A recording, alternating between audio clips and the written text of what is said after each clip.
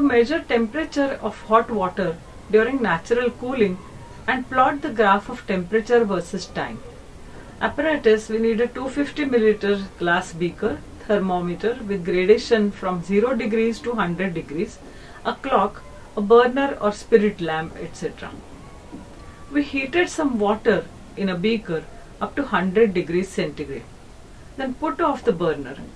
Then we measured the temperature by inserting the thermometer. When the water reaches 70 degrees Celsius, we start measuring the temperature after every 1 minute.